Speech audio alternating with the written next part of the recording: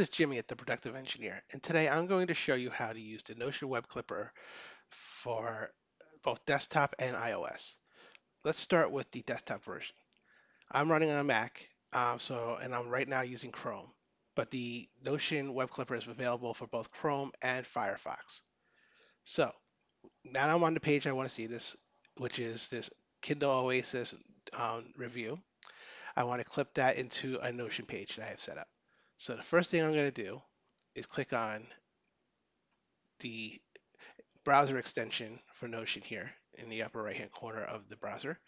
And I'll see the title of the web page, which I can edit if I want. So if I wanted to add some additional context here, I could type it in. I can obviously save the page as is right here or hit enter. It has the same effect. Or I could click add to. Here I have a predefined page called desktop web clip page. But if I were to click this, it would give me my recent pages I've used, as well as some other databases I have here and a handful of my other pages. If I didn't, if I wanted to search for a page that's not listed in here, I would simply start typing it here in this search field and it would come up, that page would come up and then I would select it.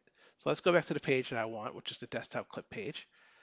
I will click save page and I would get a message here with a choice. I can either open it up in the web version of Notion, or if I have the desktop app, I can click open the desktop app, which I'm going to click. It'll give me this little prompt, open Notion. I'll say open Notion and pull up Notion here. And as you can see, my desktop clip page actually now has another entry. Um, I have this the Kindle Oasis article we were just looking at. If I click on that, I actually get a very nicely formatted uh, version of the article. Lots of uh, basically took out all the garbage, took out all the ads, took out all the crazy formatting. It really reminds me of the simplified article view in the Evernote web clipper. Very similar. Clips out everything else but the core content. Notion does a real good job. I've tested it on several websites and it's been pretty consistent in terms of how it's able to carve out all not non-essential data and giving me just the core content that I want to clip into into Notion. So there you have it. That's how you do a web clipping on the desktop using Chrome or Firefox. Okay, so let's take a look at the mobile version of the Notion web clipper. So here I have my iPhone. I am going to pull up this page here on Gizmodo about the Galaxy Note 10 rumors, and I want to save that into Notion. So I will click the Share button. I will scroll over, and here I see Notion. Now, if this was the first time I was using it, I would not likely see the Notion icon there.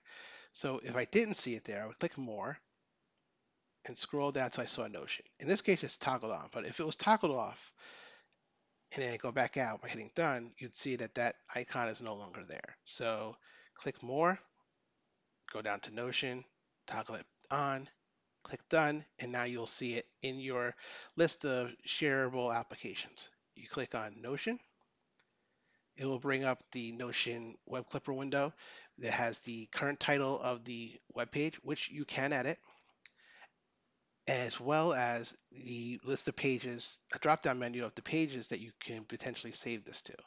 I already have the one I want to save it to here, but in this case, I'm going to click mobile, and I'm going to scroll here and you'll see the most recent page, a handful of your databases and a handful of your pages will be listed uh, sort of as default here in the drop-down menu. But let's say my page wasn't listed here. I know I have that page, but it's not listed. In which case I would click on search for databases or pages. I would start typing my page name and sure enough, there it pops up in real time.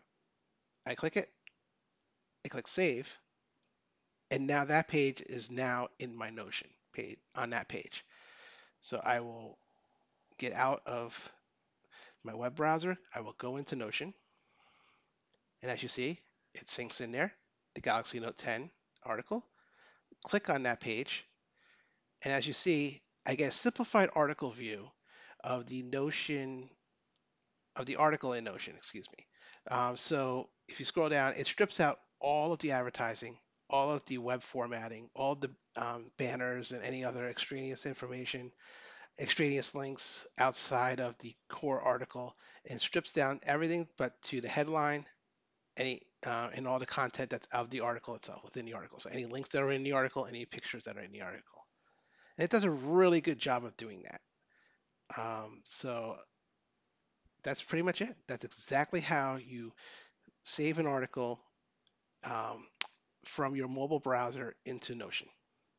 Thank you. If you liked this video, please click the like button. If you want to be notified when we come out with more videos, please click the subscribe button. Thank you.